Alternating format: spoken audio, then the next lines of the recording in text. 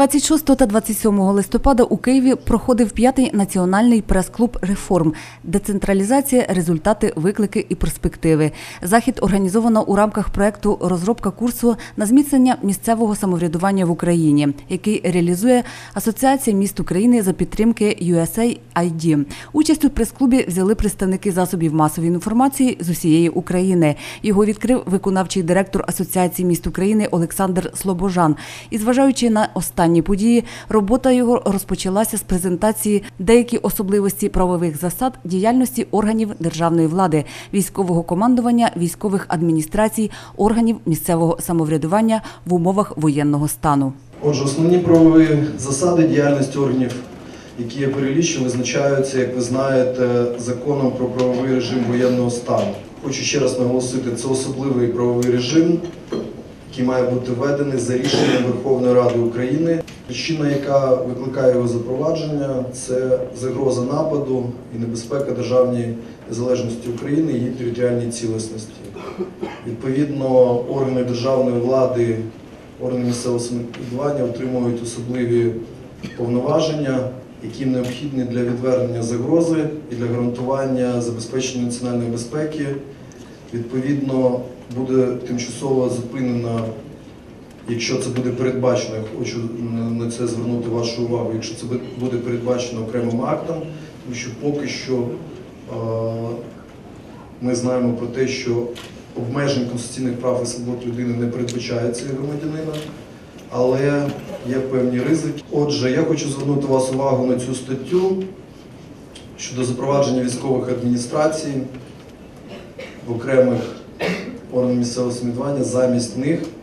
І хочу відмітити вам, що ця стаття не містить виключного переліку підстав, з яких органи місцевого самоврядування не здійснюють покладені на них повноваження. Тобто, у разі певних причин, які будуть визнані доцільними, замість органів місцевого самоврядування будуть діяти відповідні військові адміністрації.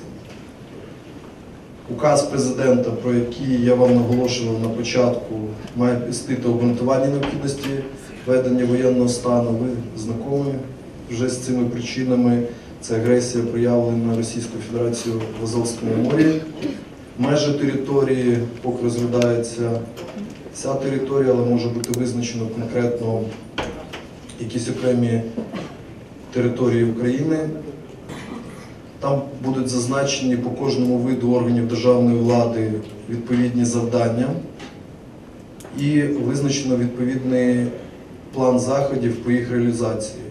Крім того, органи цивільного захисту теж отримують чіткі вказівки, всі їх функціональні підрозділи, територіальні, там звідки ви приїхали, теж отримують відповідні вказівки. Пункт п'ятий дуже важливий для нас всіх, тому що він передбачає і тільки е, в цьому акті буде зазначено вичерпний перелік конституційних прав і свобод людини і громадянина, які тимчасово звертаю вашу увагу, обмежуються у зв'язку з введенням воєнного стану.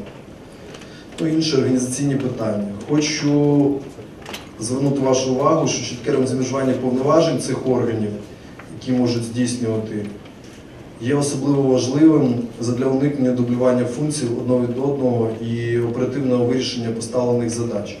Тобто конкретно між цими органами, про які я говорив на початку, буде чітко розмежовано їхні повноваження і доповнення. Про заходи трошки зупинюсь на тих заходах, які можуть бути запроваджені.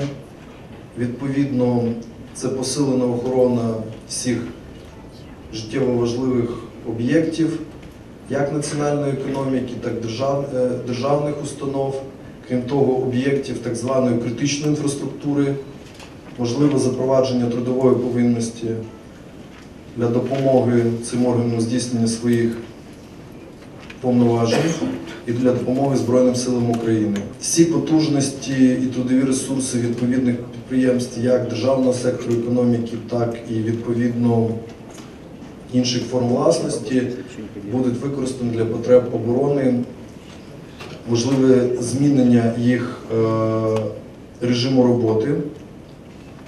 Можливі варіанти примусового відчуження майна, але з відповідною компенсацією на основі відповідних документів.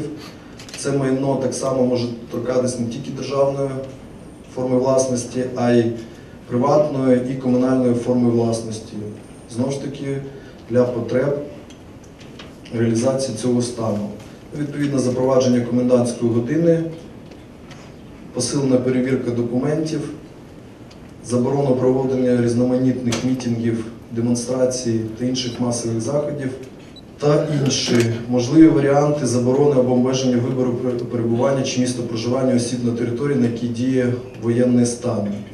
Відповідно, ви, можливо, вже всі чули, перша черга призиву оголошується мобілізовано, а далі ми будемо чекати е, рішення, в якому буде чітко зазначено подальшу діяльність.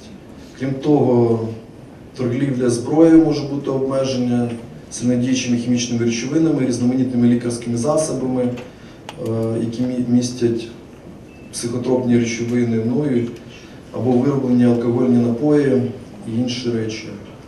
Я хочу зазначити, що цей режим у сфері виробництва та реалізації лікарських засобів, перелік їх визначений постановою Кабінету міністрів. Крім того, прошу вас всіх звернути увагу на пункт 12 щодо порушення вимог або невиконання заходів правового режиму воєнного стану, вилучати телекомунікаційне обладнання, телевізійну, відео, аудіоапаратуру, комп'ютери у разі потреби інші засоби зв'язку. Знову ж таки, хочу зауважити, це можливі, можливі дії. Це не значить, що все це буде запроваджено. Ми просто інформуємо як для органів місцевого самоврядування можливі варіанти розвитку подій, до, яких вони мають бути готові. Хотів би звернути увагу е, на цю статтю. Це здійснення органами державної влади та органами місцевого самоврядування повноважень в умовах воєнного стану, які будуть діяти, як і передбачено це частиною 2 статтею 19 Конституції України в межах та у спосіб визначений Конституцією та законами України. Стаття 10 визначає про те, що не можуть бути припинені повноваження в цей період президента Верховної Ради, Кабінету міністрів та уповноваженого Верховної Ради України з прав людини, а також інших е, органів, що здійснюють оперативно-розшукову діяльність, прокуратуру, суддів, судове розслідування, контррозвідувальну діяльність. Хочу звернути увагу, що обмеження відповідно до закону, цього про який ми зараз говоримо, е, воно стосується лише частково основних прав і свобод людини та громадянина і в повній мірі не може відміняти конституційні засади, визначених Конституцією цих прав. Ну, тут діяльність Верховної Ради, яка має бути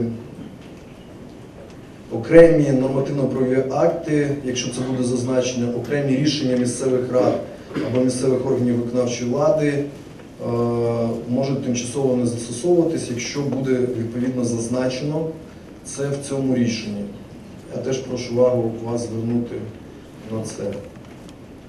Що стосується повноважень військових адміністрацій, то вони частково переберуть на себе те, що мають місцеві державні адміністрації, а це лише тільки я хочу звернути вашу увагу у разі, що органи місцевого самоврядування не зможуть здійснювати це, е, ці повноваження. Сподіваємося, що такого не відбудеться. Хотів би звернути увагу для вас, оскільки ви займаєтесь безпосередньо висвітленням децентралізаційної реформи, і один з викликів, е, з якими можливо прийдеться е, нам зіткнутися, це буде стосуватися виборів в об'єднаних територіальних громадах. Ви значить, знаєте, що вони е, призначені на грудень місяць.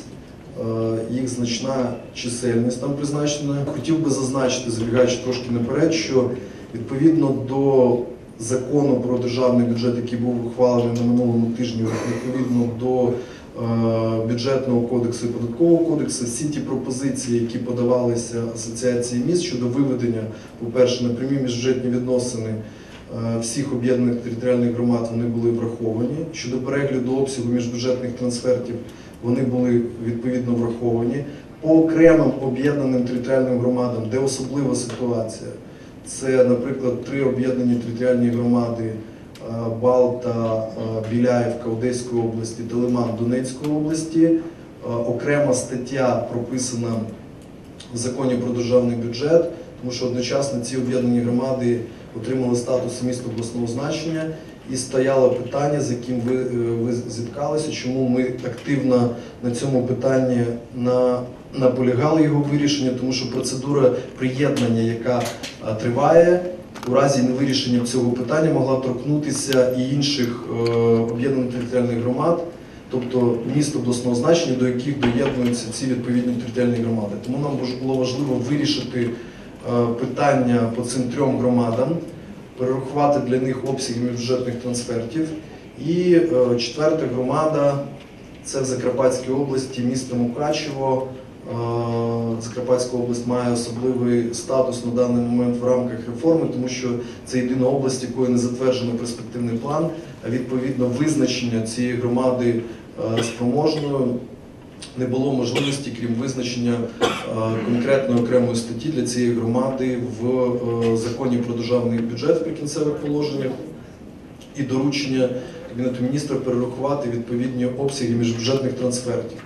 Тому зверніть увагу на статтю 19, що можливий ризик непроведення виборів в грудні, а відповідно виведення їх на прямі бюджетні відносини, тому що якщо не будуть сформовані відповідні управлінські структури, то відповідно освітня медична субвенція, е, базова дотація, реверсна, так само як додаткова дотація, вони не зможуть бути запроваджені Міністерством фінансів. Але ми будемо сподіватися на краще. Ще раз звертаю всіх увагу. Ми зробили цю презентацію, щоб ви розуміли певні можливості щоб не було міфологізації, якихось панічних настроїв, е, щоб ви просто володіли інформацією, тому ми про це вам доводимо. Що стосується правовий статус та обмеження прав і свобод, я вже на цьому зупинявся. Це ті е, витяг з Конституції, які е, фактично права і свободи передбачені статтями. Ви можете побачити тут величезний перелік цих статей, відкрити Конституцію, подивитися, які ні в якому разі не можуть бути обмежені навіть в умовах воєнного стану. Так визначає 64 стаття Конституції, отже, можете подивитись 24, 25, 27, 28, 29, 40, 47, 51, 52, 55, 56, 57, 8, 9, 60, 61, 62, 63 Конституції не можуть бути обмежені права, які визначаються цими, цими статтями.